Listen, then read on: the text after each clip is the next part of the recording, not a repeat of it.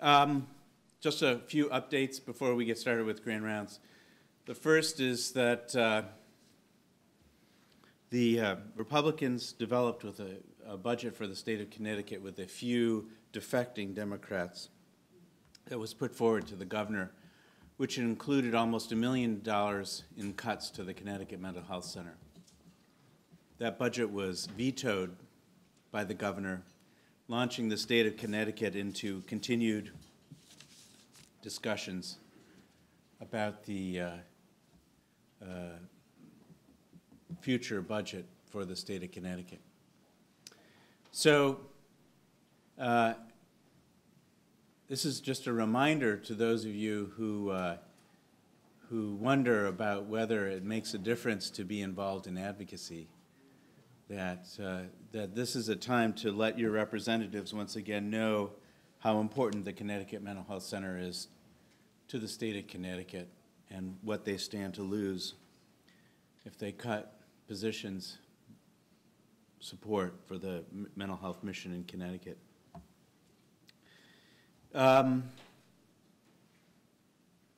let's see, in terms of other news, um, we have uh, next week we have Murray Stein coming from the University of California, San Diego. Murray is a real pioneer in PTSD research who will be coming to talk us about a lecture called, he calls Traumatic Mind Injury, which should be interesting. And then the following week, our own Ivan de Araujo, who uh, is an expert uh, in uh, the neurobiology of taste and feeding and obesity, we'll be talking about neural circuits for hunting, feeding, and aggression, which should be really very interesting.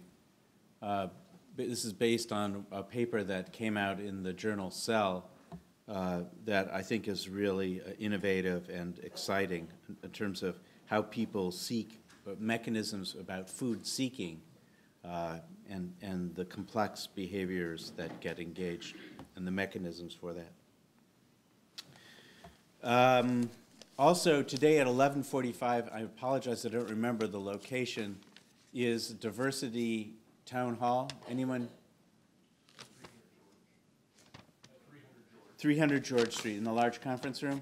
Uh, everyone is welcome to participate in that, and I encourage people to take advantage of the opportunity to talk about the diversity issues. This is a this was a uh, a, a um, uh, uh, town hall that we've been trying to set up ever since Char the events in Charlottesville, but there are a number of important issues, and I want to thank Kristen Booty in particular for seeing this through to having, having the session today. So um, we're, we are indeed fortunate to have a real pioneer in psychiatry healthcare with us today. Professor Jürgen Unützer uh, from uh, the University of Washington is the chair of the Department of Psychiatry there and also um, a, uh, uh, has a position in the School of Public Health, Health Services, and in Global Health. Uh, and he's an affiliate investigator in the Kaiser Permanente Washington Health Research Institute.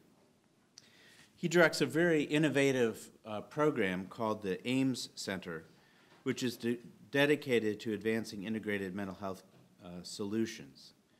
Um, and this builds on work that he and his mentor, Wayne Katon, the late Wayne Katon, uh, and others at the University of Washington pioneered now over several decades, which had challenged a fundamental kind of unspoken model about the way that mental health care is delivered.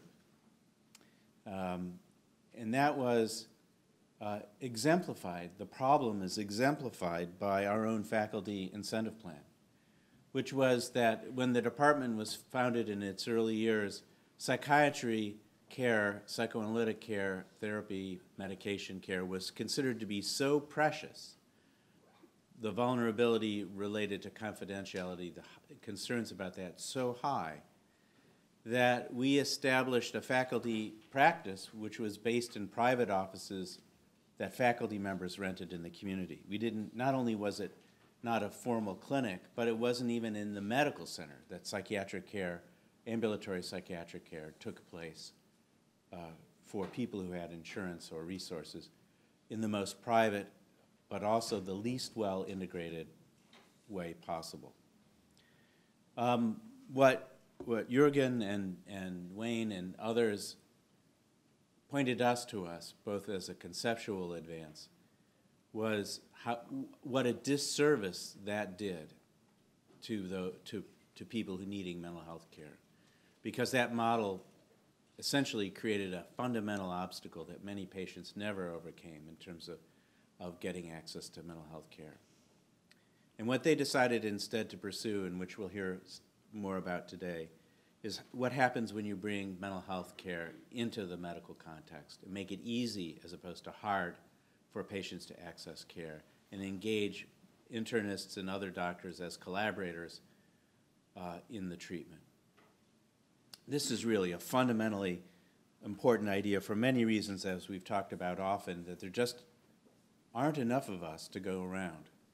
Um, so if you combine the shortage of resources with the, with the uh, barriers that people face in, in pursuing mental health care, it's not surprising that the majority of people who have mental health problems still don't get care for those problems.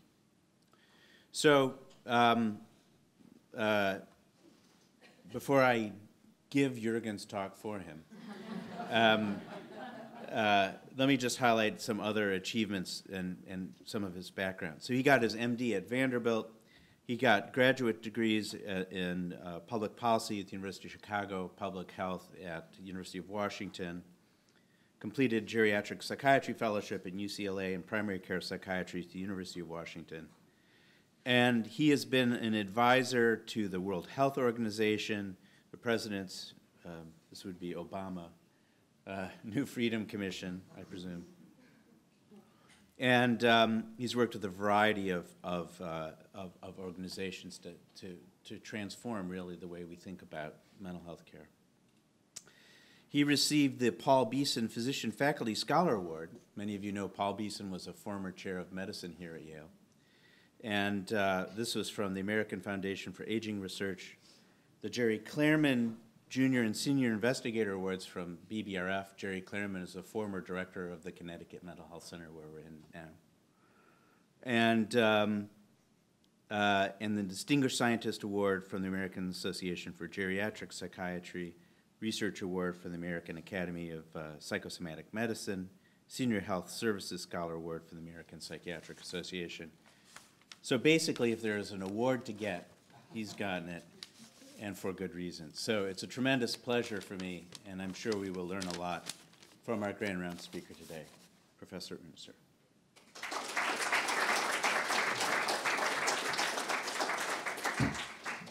Uh, this, is your, this is your tea, I think. This is my coffee. Yeah, thank you. But you can have it. That's okay. You're going to lose a million dollars here. Maybe we should give you this coffee. Sorry about that. Uh, so I don't have any bad news for you in terms of what the Connecticut State Legislature is, is doing. It sounds scary, though. Uh, so thank you so much uh, for uh, the nice welcome. Uh, I, uh, it's a real pleasure, it's a real honor to be here with you today. and I'm going to talk a little bit about this crazy idea that John mentioned that we could do mental health care outside of mental health little bit of disclosure, as, as uh, John said, my day job is I chair the psychiatry department at the University of Washington. I also have appointments in the School of Public Health there. Uh, I do a fair amount of grant and contract supported work on the concept of uh, providing uh, behavioral health services in primary care and other kind of healthcare settings. Uh, I don't do any uh, work for uh, pharmaceutical or device manufacturers or other for-profit organization uh, that I take money for. Um, do what they do in the military. Uh, bottom line up front. Uh, so this is the summary of my presentation. fewer than half of those who need mental health care will ever see a mental health specialist, and this is in the even most highly resourced parts of this country.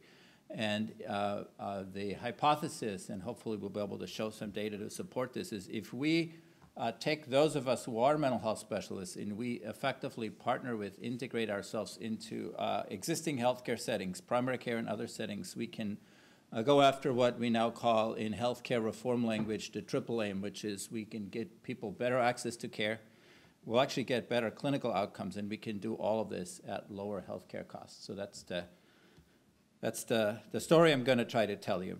Uh, so this is a little bit of epidemiology. Uh, there's a lot of very good uh, psychiatric epidemiologists uh, have been at Yale over the years, so I hope I don't, uh, you know, make it too simple. But this is uh, from this is a tried an attempt to visualize the one of the last big national epidemiologic studies, the National Comorbidity Survey.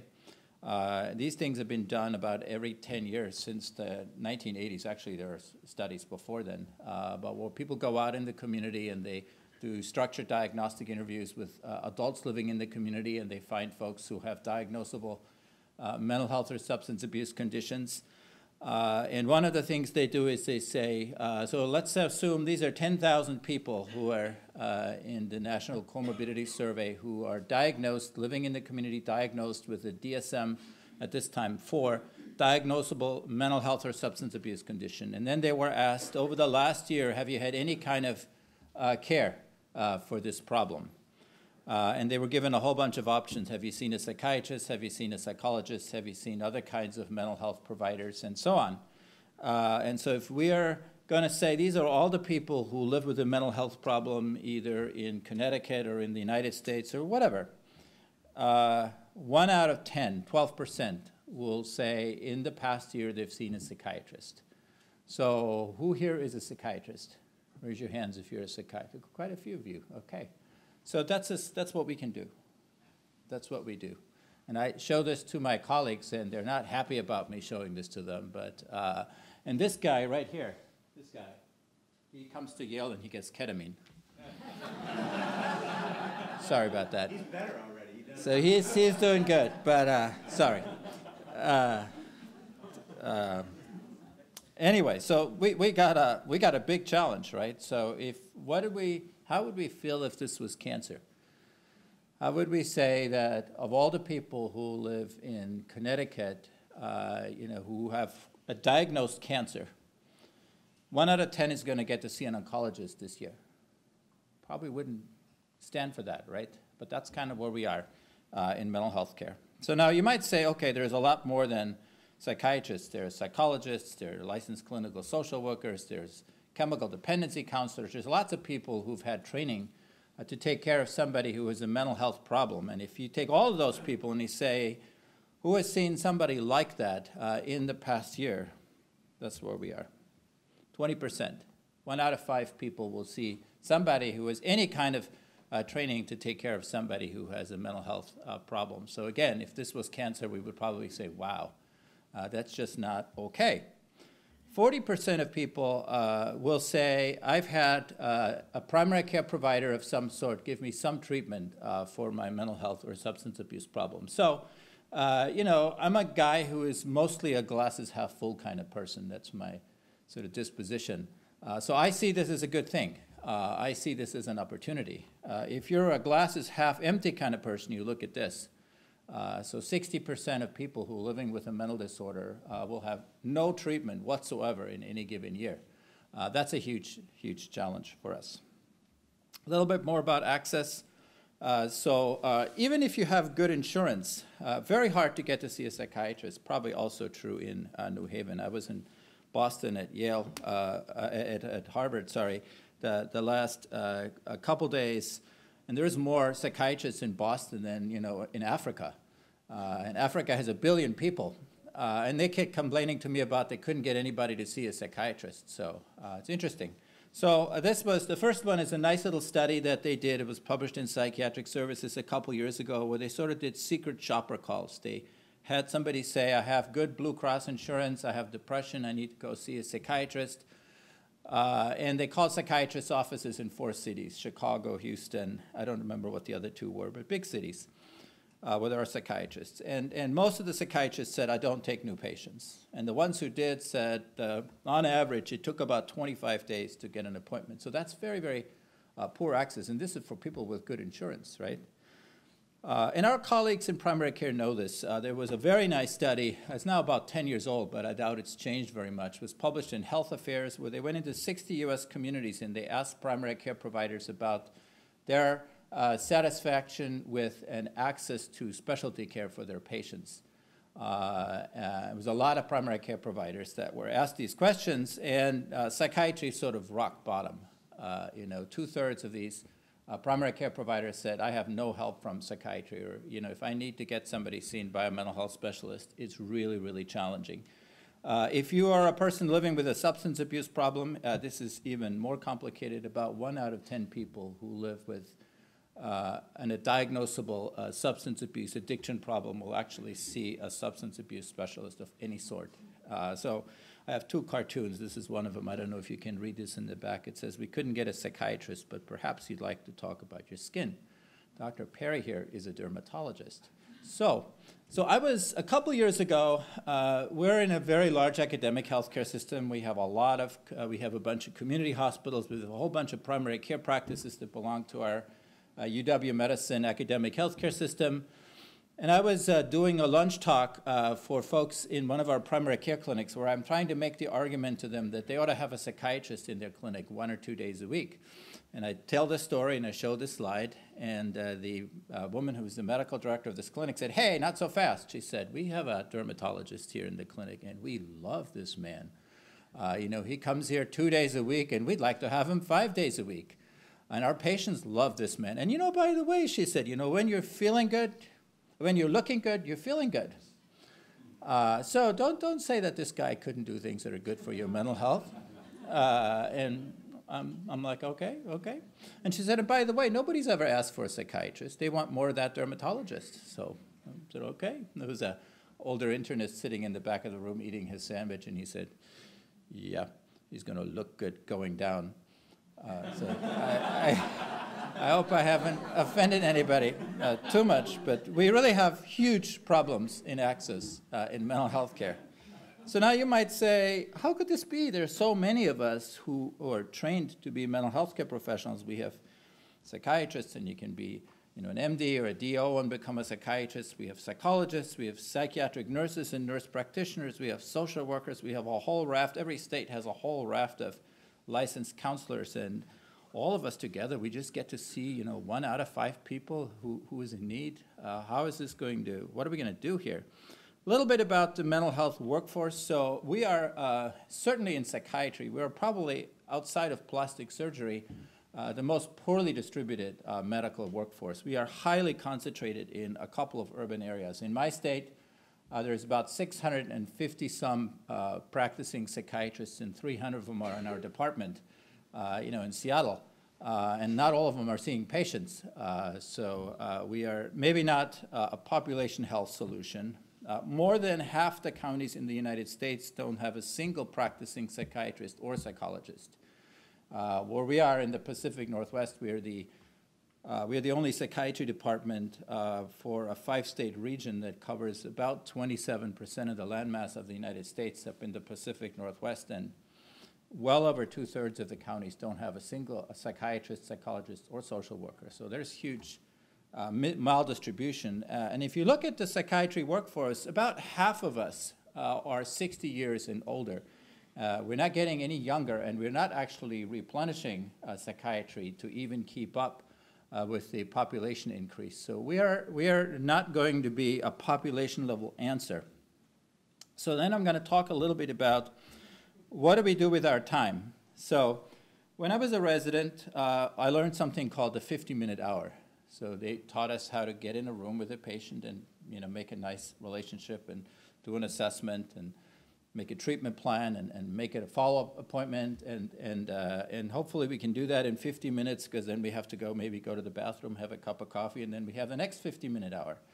Uh, and our residents are still learning that 50 minute hour. And uh, they say to me, I can't do it in 50 minutes. I got to have 90 minutes. And I have to say to them, you know, you got to do, got to learn how to do it in 50 minutes. Otherwise, you might starve, uh, or you won't be able to pay your very expensive mortgage. Uh, so what what we did uh, at a in our research group uh, at a lunch meeting a couple years ago, we said, how many of these 50-minute hours do we have to sell? So we said there's 40,000 some practicing psychiatrists in this country. Let's assume everybody is seeing patients, back-to-back patients for 30, uh, 32 hours a week. Uh, so that's not everything else, just, just pure patient contact. Let's assume that 3% of the US population has the kind of mental health or substance abuse problem where you'd like to be able to be seen by a psychiatrist once a month. That's actually, those are some very conservative assumptions. Uh, and then let's see how many, how much time we could give everybody once a month. So if you're living in an urban part of the United States, you know, we could give you six minutes once a month. If you're living in the rural United States, we got a minute and a half. If you live in China, it's about 45 seconds. If you live in Nigeria, it's about eight seconds. Uh, just dividing the number of psychiatrists seeing patients, you know, nothing but seeing patients 30, 32 hours a week uh, into that 3% uh, of the population who could benefit from a psychiatrist. So it's incredibly important that we learn how to do this 50-minute hour. I don't want to knock that, uh, but it's also not a population health uh, solution. We got to think about something else. Uh, a little bit about quality of care. So there are about 30 million people a year, and this is a big change from when I started in practice, who walk out of a primary care doctor's office with a prescription for some kind of psychiatric medication uh, in any given year. That's a lot of people. That's almost 10% uh, of the US population. In fact, this is a country that loves to take pills. Uh, you know, we take more, we consume a little bit more than 50% of all psychotropic medications that are legally sold across the world. And we're a pretty tiny fraction of the uh, world population. And uh, if you follow those folks, uh, and we've done that uh, in a couple of different ways, about one in four will be significantly improved at the end of one year. So again, I'm a glasses half full kind of guy, so I will say that's good. These primary care doctors didn't used to do that. Now they're, you know, finding, uh, you know, 10% of their patients that are saying you need some kind of help, but I think they're going to need more help from us to do something that's going to really help make more of a difference. That's where I think the opportunity is. So this, this is my only other cartoon over there. It says, of course you feel great. These things are loaded with antidepressants. Uh, that's, that's the country we are. Uh, and in fact, I read a fascinating story that uh, made the argument that you could learn about the epidemiology, uh, epidemiology of mental illness by analyzing uh, neighborhood level uh, sewage. because we take so many drugs that you could go to sort of guess from the sewage, you know, you know how, what kind of um, behavioral health load or problems we have. Uh, I'm going to just make one brief comment uh, because uh, it's very easy for us in psychiatry as specialists to poke fun of our colleagues in, at our colleagues in primary care.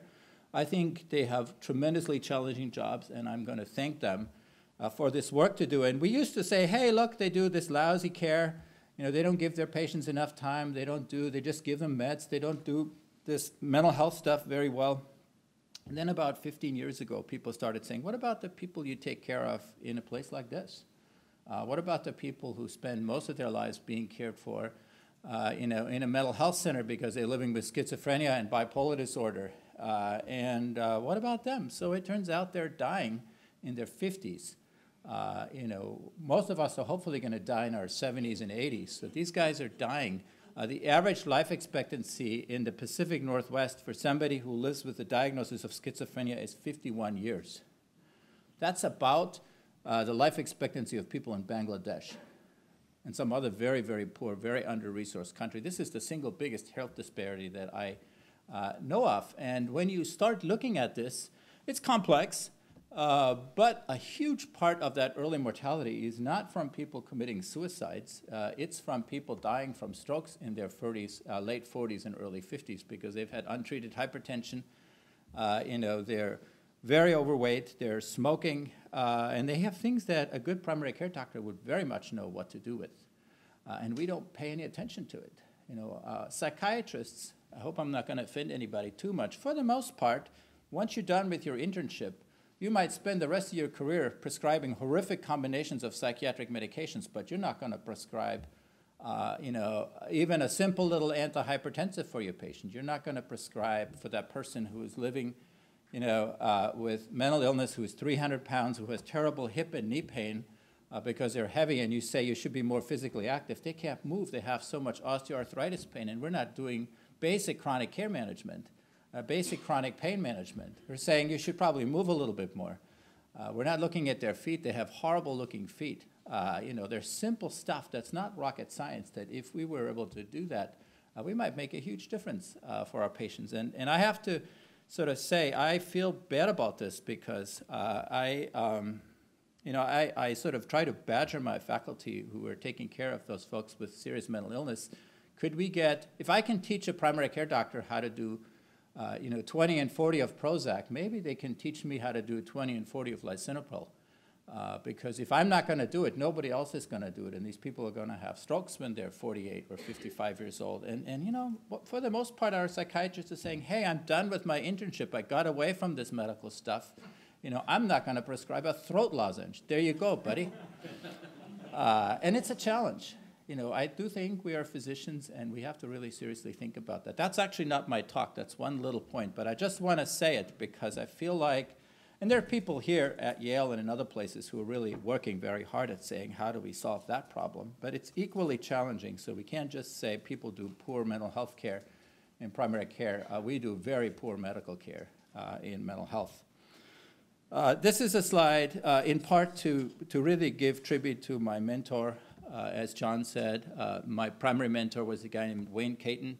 Wayne was a, a, a CL psychiatrist uh, who uh, realized early on in his career that uh, there was so much untreated uh, mental illness in primary care, and he spent most of his career thinking about how do we help people in primary care settings. And he was a guy who was very interested in the overlap and the relationship of chronic mental illness and chronic medical illness. So he did a beautiful uh, piece of work with a whole bunch of NIH funding over the years, following a large cohort of people with diabetes, mostly type 2 diabetes, uh, uh, in a prospective way.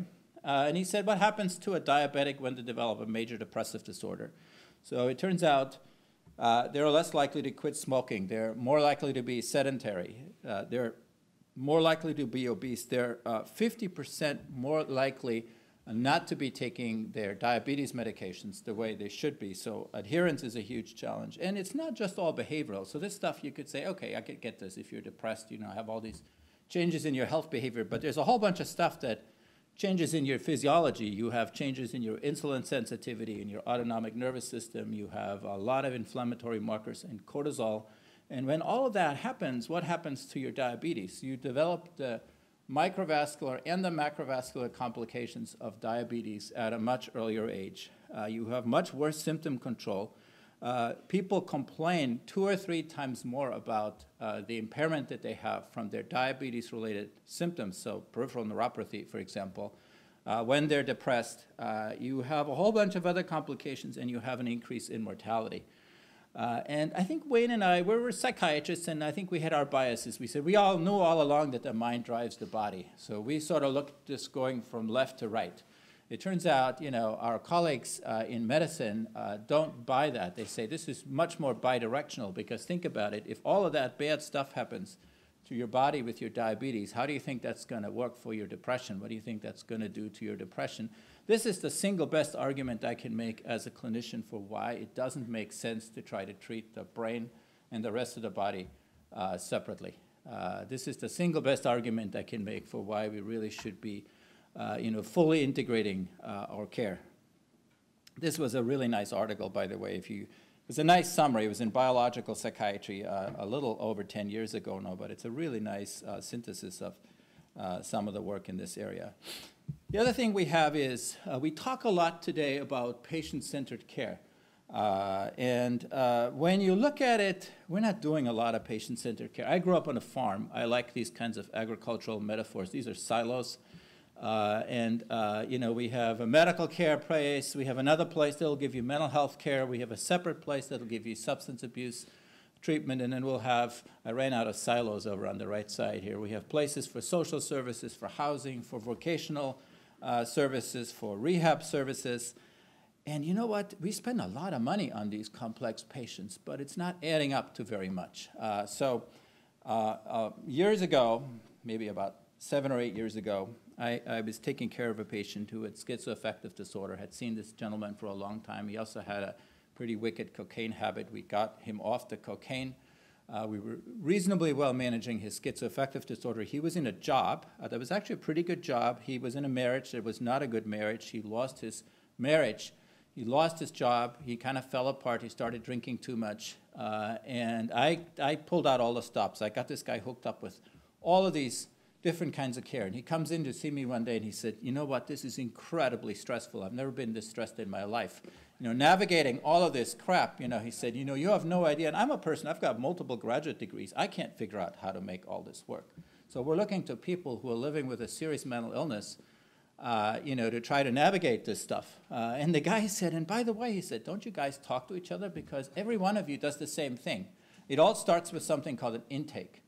You go in someplace, you, first you get a long wait, and then you get an appointment, and you go in and you get seen by some kid. He's probably referring to an intern or to somebody like that. Uh, and they sit down with a big questionnaire and they'll ask you all kinds of questions, including were you abused as a child and how do you feel about that? And I said, I'm just trying to figure out how to pay my rent next month. Uh, and he said, and it's always the same questions. Two thirds of these questions are the same, and, and they keep asking me these same questions. Don't you guys talk to each other? So I'm thought to myself, I thought, hmm, well, Actually, we don't talk to each other because I don't have any incentive to talk to anyone else, right? In fact, as John said, we, we sometimes hide.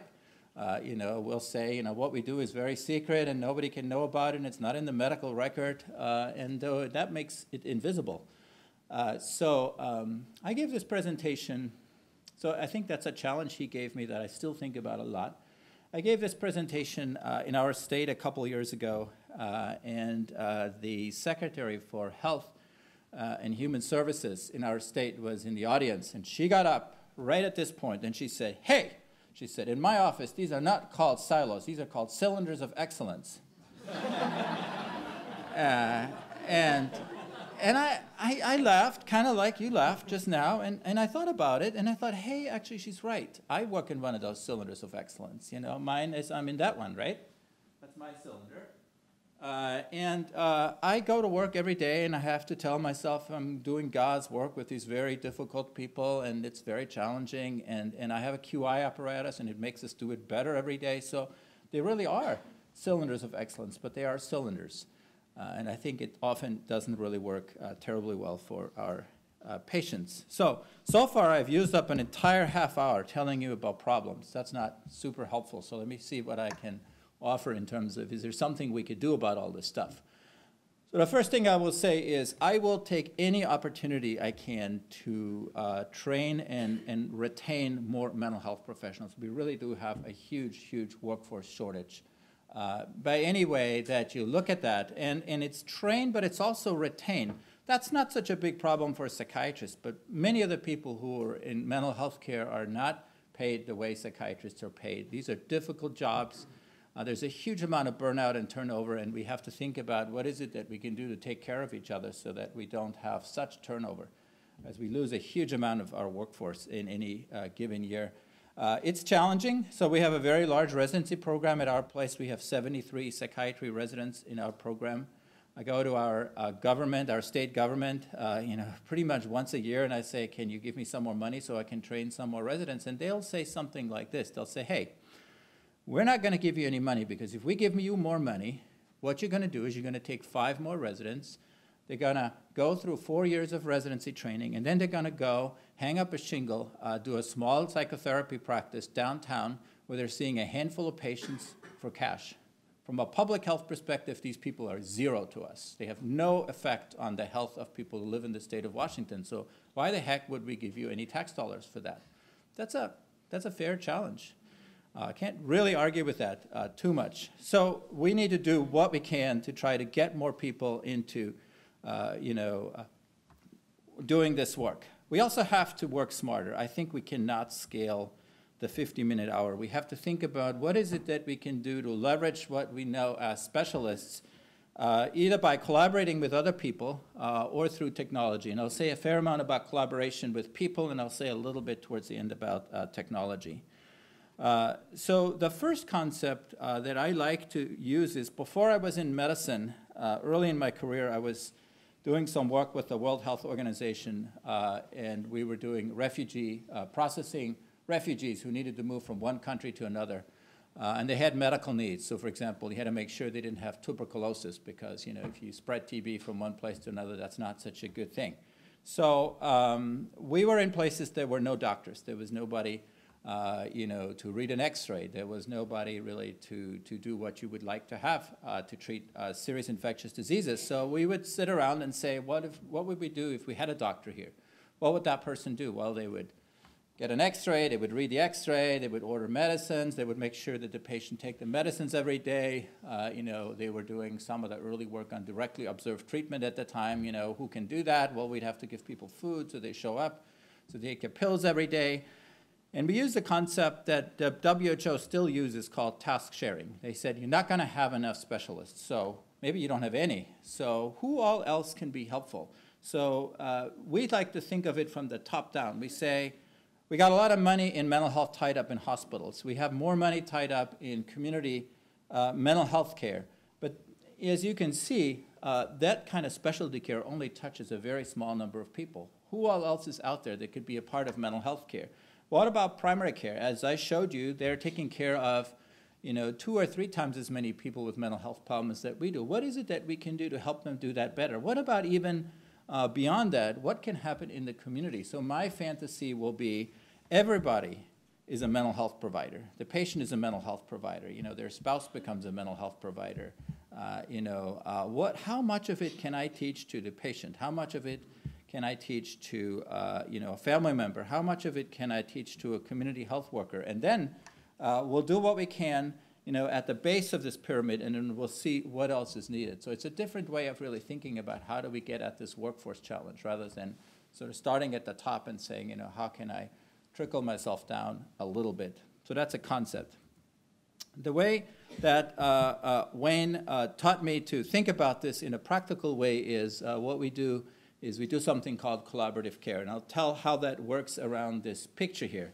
Uh, so what we say is uh, we have a primary care provider that's this guy is an internist. He could be a family doctor. He could be a, a, a nurse practitioner. Uh, and uh, he is a patient who is depressed, and what we do is we train a staff member in his office uh, who we call a mental health care manager. This happens to be an RN. Uh, it could be a social worker, it could be a psychologist, it could be any number of people who are willing to learn about how to do basic care for uh, mental health conditions.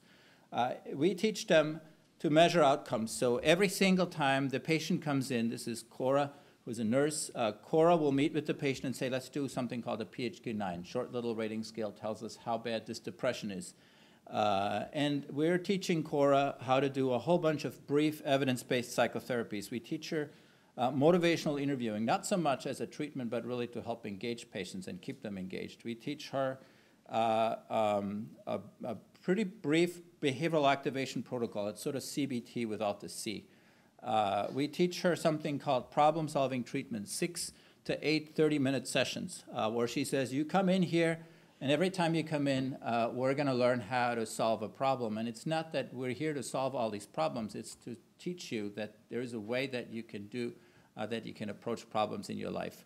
Uh, and this is important because the doctor is going to prescribe you a little pill, and that pill is not going to change your life. It'll help you sleep better, it'll help you maybe have more energy, but you've got to make changes. And this is the big difference, I think, between this and 30 million people getting a prescription, because you've got to do something with that prescription, right? These pills don't just make us behave differently one day. Uh, the other thing we do is we track all of these patients in a registry tool. Uh, so she has a list uh, that uh, everybody in the practice who's got depression uh, is on this list. Uh, and she goes over this list. And then what about the psychiatrist? So on the bottom right is Mark Avery, my colleague, who's one of our CL psychiatrists. And what he does is he doesn't see all these patients. Once a week, he spends, he gets on the phone or on uh, telehealth uh, or in person with Cora, and he goes over every single patient that's in that practice whose PHQ-9 score is not improving the way we would like for it to. Uh, and then he says, you know, try this, try that. Sometimes he'll talk to the doctor about that. Mostly he works through the care manager. Occasionally he'll say, I don't know what this is. We've already talked about this patient now twice. I'm not sure that we got the diagnosis right. I should see this person.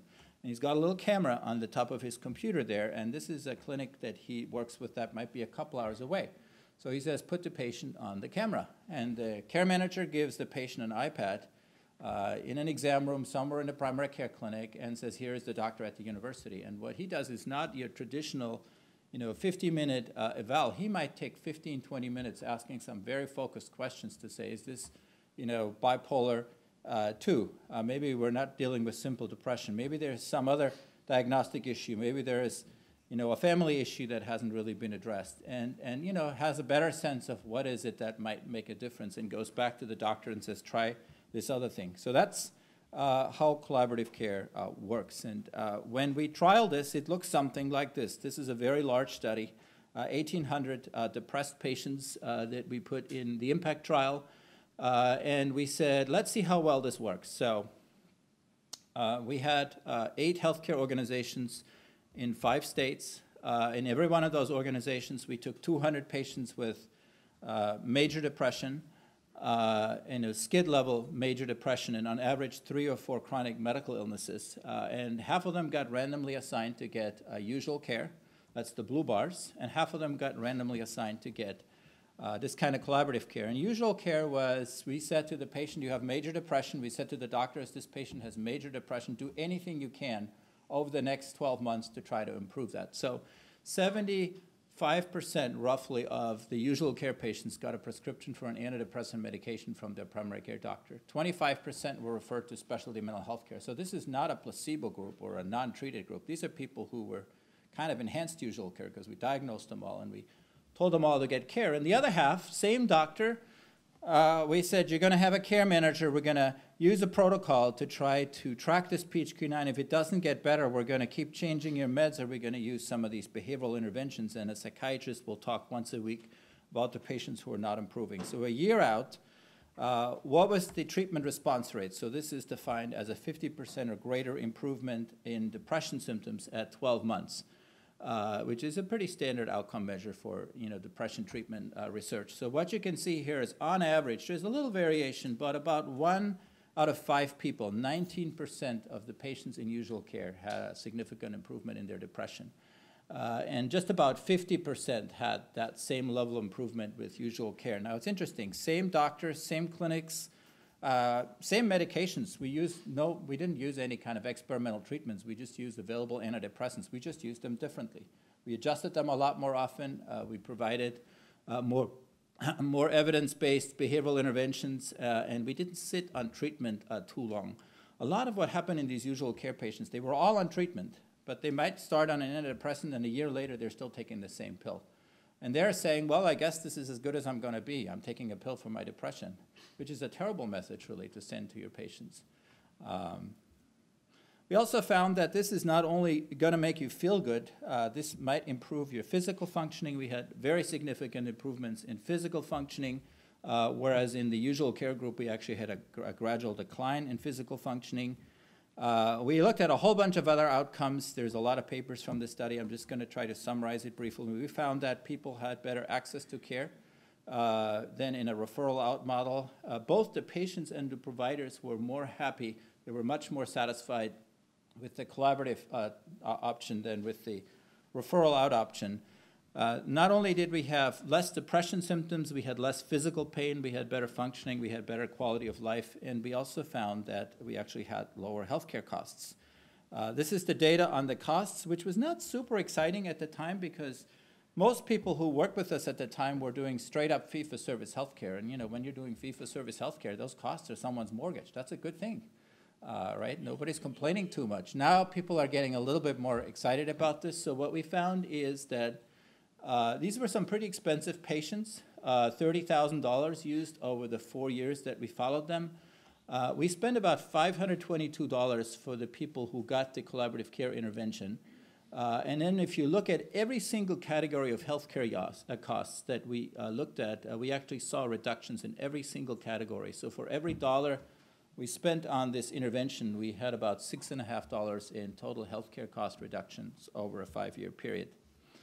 Uh, the Wall Street Journal got kind of excited about this. They wrote an article about this in 2013, and this has gotten us more attention uh, than anything we've ever published in the New England Journal or in JAMA. So I would say to you, if you want to have get attention, don't publish in a major medical journal. Try to uh, talk to the Wall Street Journal. The interesting thing is this was a story, so we're close to Manhattan here, so I can say this. This story was written by a Wall Street Journal reporter who was based in their Manhattan office. And she sort of was just mesmerized by the fact that you could get mental health care at a primary care doctor's office. In her mind, you had a psychiatrist and a psychopharmacologist and another kind of therapist. And you know, the day this story was running, was coming out, uh, we had uh, a couple of press uh, interviews, uh, and she calls me and she says, I'm in my cab, I'm stuck in my cab, trying to go to my therapist's office, I'm so stressed out. And I'm like, maybe you should go to a primary care doctor now. it, it, was very funny, actually.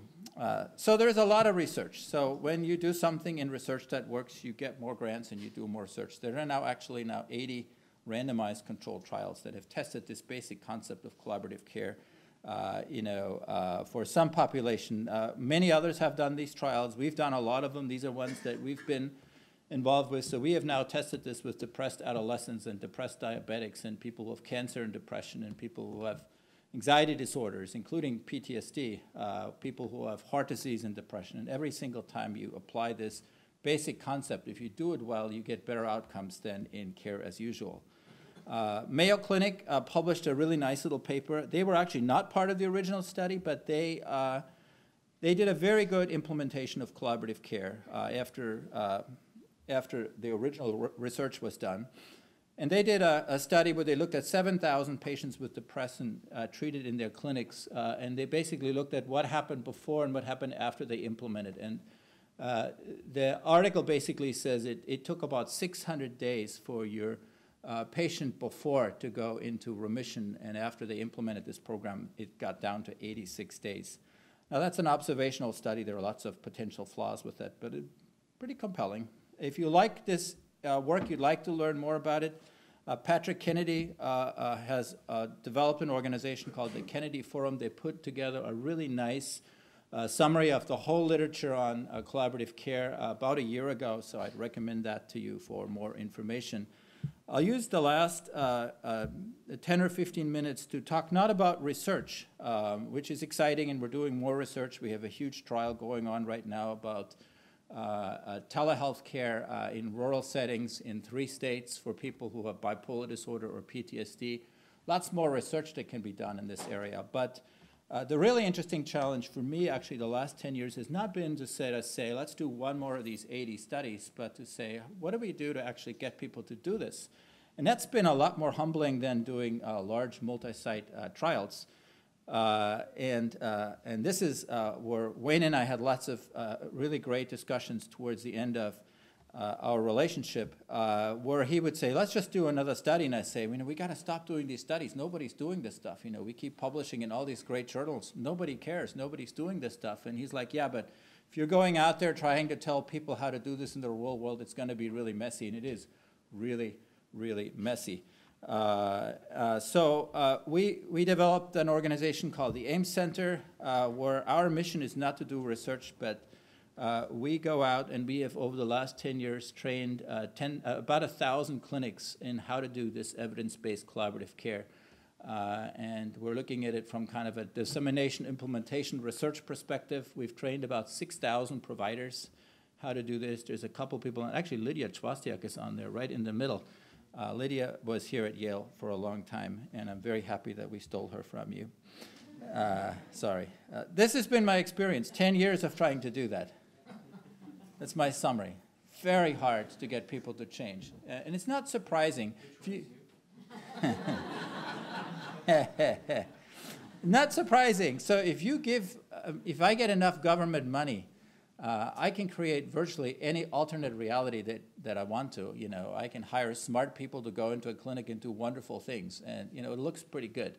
When you go talk to people who are running busy in their clinic, and you say, now look at these couple papers, you know, why don't you do this? They say, wow, that's a lot of change.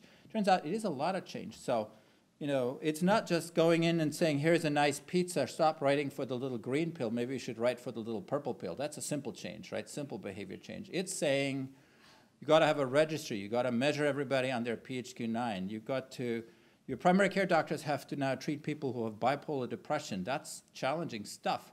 They're not happy about that necessarily. Uh, you got to hire this person who is a therapist who's going to be in a primary care office seeing a lot of patients working with this registry. Maybe her sense of herself is she's a therapist and she likes that sign that says, do not disturb.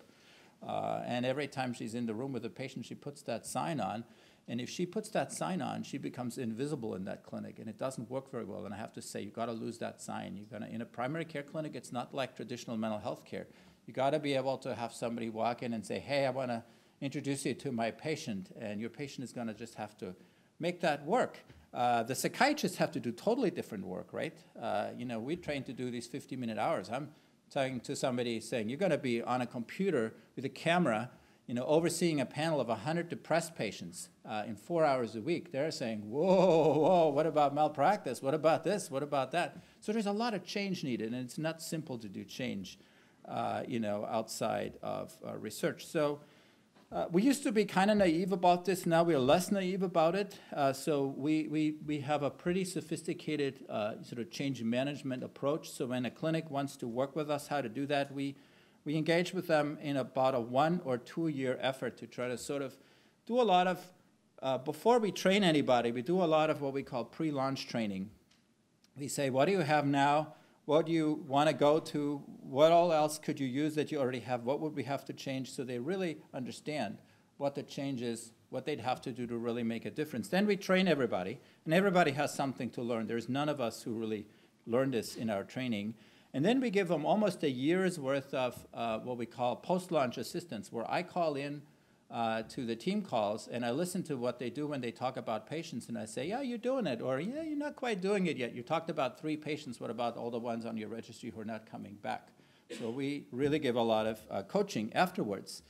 Uh, we have a website. We have a lot of tools that we've developed that, that are up there for free. Uh, we've written a book about how to do this. Uh, how do you treat depression as a team? So what does the PCP do? What does the psychiatrist do? What does the care manager do? What does a therapist in the office do? Uh, what does the patient do? Uh, how do you treat substance abuse that way? Uh, we have a big grant, uh, and it's been a real pleasure, from CMMI that we do in partnership with the American Psychiatric Association, where we have set out to train 3,500 psychiatrists all over the country in learning how to do this kind of collaborative care. We're about halfway done with that. We've trained a little over 1,500 psychiatrists in, in how to do this kind of collaborative care. Uh, we are saying, you know, can you further leverage ourselves using technology? Uh, we have uh, one of our faculty, Amy Bauer, uh, has developed a smartphone app uh, that we use in our work, and so it allows people to do things like checking in. Uh, you know, you don't have to come into the clinic to do a PHQ-9. That thing could send you a text message, and you know, you push a couple of buttons, and that goes right into our care management's registry. It goes into our EHR, and I know that the patient is doing okay or they're not doing okay. And then what I do is I call out. I don't wait for when their next appointment is. I say, hey, you're not doing well, let's talk. Uh, we can text with the patient, we can call with the patient, we can show the patient you know, uh, their progress. Uh, we put a lot of educational tools on these apps, uh, including some videos of patients who've been through treatment, who talk to patients about uh, what treatment is like. we make it easy for people to reach out to us uh, we make them put all of the contacts that they have that they like to be able to reach if they're not doing well uh, and make that uh, easy. Uh, and we put a whole bunch of other useful information about their, their treatment targets, their goals, their behaviors. Uh, and uh, this is kind of cool. we've done feasibility work. It's, it's doable. Uh, but I can't tell you yet how much of a difference this is going to make. We have a very large trial going on right now with about 1,000 patients in three states, and half of them are being offered this app in addition to uh, what all else they're getting. And I'll tell you in a couple years, hopefully, if this is actually making any difference uh, or not. Uh, we have, uh, um, you know, we do a lot of research, and I'm in a large academic healthcare system, and until 2008, uh, we had done 20 years of research, but we didn't have a single clinic in our healthcare system that actually did this uh, because we would just study it and then we'd go on to write the next grant. We'd do another research study. And so I got tired of that and I started talking people into doing this in our own healthcare system. So we put it into three clinics at our county hospital, family medicine, internal medicine, uh, and a clinic that treats homeless patients. Uh, and then over the last uh, uh 10 years or so, we have now put it into uh, some 20 primary care clinics where we have a psychiatrist, a care manager, a registry uh, on site in every single one of those clinics. So every single UW Medicine primary care clinic now can offer you on site, fully integrated behavioral health care. And our colleagues in primary care have loved this. I'll let you read this. This is uh, from the medical director in one of our uh, clinics. Uh, and, you know, people say, how do you sell it? Uh, so, you know, the initial sell was the research evidence is very strong for this. It's not easy to fund it yet, although now we actually have collaborative care billing codes that CMMI has approved. Uh, but the people who sold it for me were the primary care doctors. So we had it in four clinics. Uh, and they started talking to each other. And, and pretty soon they started saying, hey, look, if you don't put this here, I'm going to work in one of these other clinics, or I'm going to go somewhere else. Uh, and uh, people really want their primary care doctors to be happy because they're the ones who are providing basic health care. They're the ones who are feeding us in the very expensive care that we provide in our hospitals. So our primary care doctors sold this. And within about a couple years now, we have it in every single one of our clinics. We have a partnership with a managed Medicaid plan in our state uh, where we have gone out and partnered with 150 uh, primary care clinics. Every one of those little dots is a community health clinic uh, in one of the counties in our state. Uh, and uh, every one of those clinics has uh, a psychiatrist four hours a week assigned to it. Most of them are on our faculty, and they do what I just told you.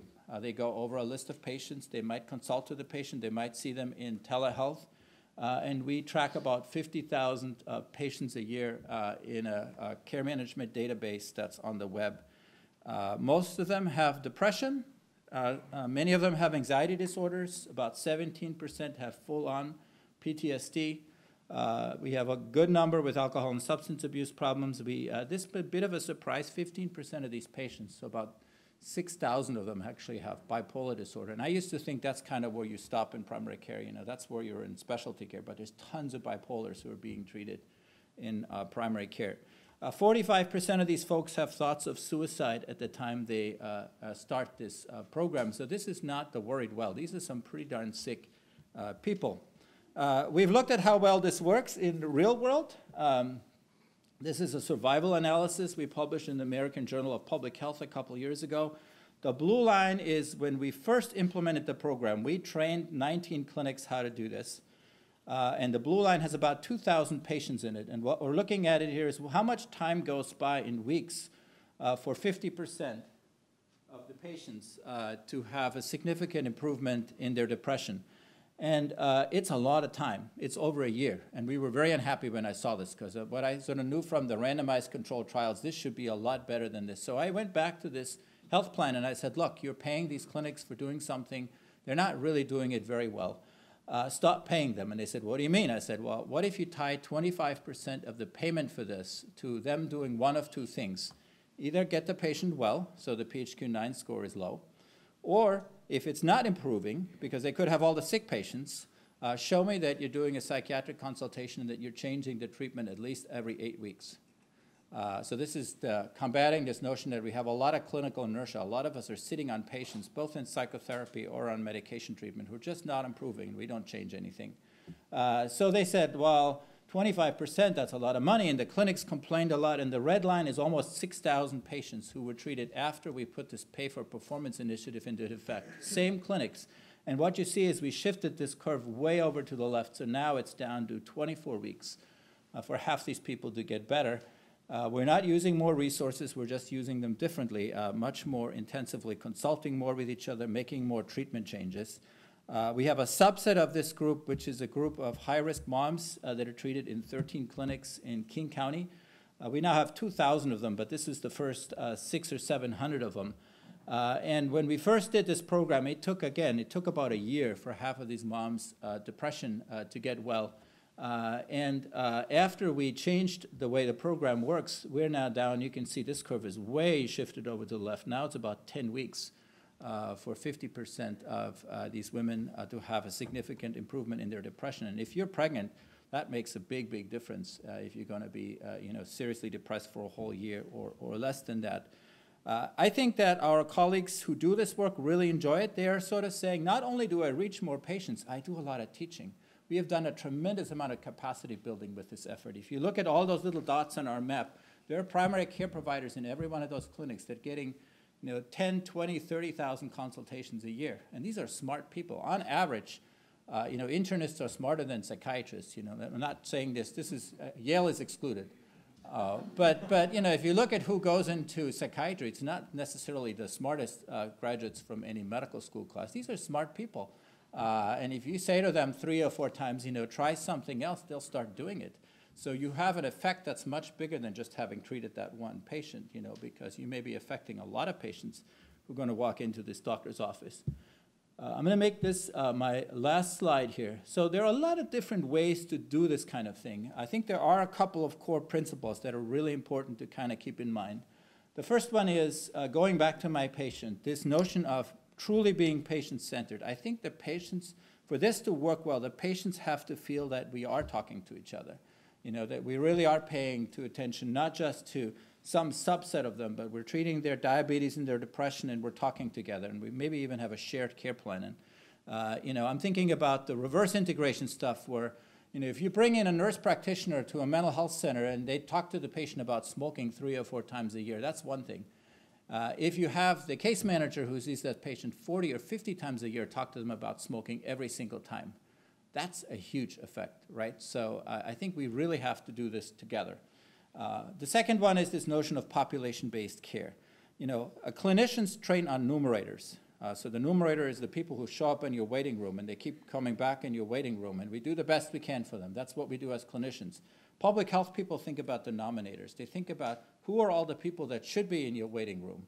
Or maybe they were once in your waiting room and they're not coming back. Those are the people that are in a registry. And when you start doing that, it gets kind of painful because you realize, wow, there's so much stuff out there that we started and we never really finished it. And so we really have to then think differently. Evidence-based care, we see still a ton of care use that frankly, I don't think there is good evidence for it. Uh, so we have to do things that, you know, at least have some chance of working. The fourth principle is the notion of having a target, uh, treating to target. This is something I've learned in spades from my colleagues in primary care. You know, they're overwhelmed by uncertainty. They're treating people with all ages, all different conditions. And so one of the ways they manage that uncertainty, they measure things. So they measure my blood pressure when I go in. They measure my uh, blood sugars if I'm a diabetic, you know, and we don't measure yet, uh, you know, outside of research. You know, when you come in and I treat you for depression, uh, you know, uh, I start some treatment and then you come back and I say, how are you feeling? And you say, oh, you know, you're a nice person and I'm a nice guy. And you say, I'm a little bit better. I said, that's good. Let's keep, keep going. And the next time I'm going to say the same thing. Uh, if you treated my blood pressure that way, I'm a person who has hypertension, uh, you know, they would have started me on a low dose of an antihypertensive medicine. They would have said, you know, how are you feeling now? And I'd say, oh, I think it's a little bit better. I'd have had my stroke by now, right? But that's how we treat in mental health. So uh, we need to measure things, and if they're not improving, we need to change treatment. It's not that we're a bad therapist or a bad patient, just if it's not working, change it. If you do all of that, I think we really can live up to what healthcare would like from us today, is which really to be accountable for not just a handful of patients, but really a population of patients. I think I'm going to stop here. Thank you very much.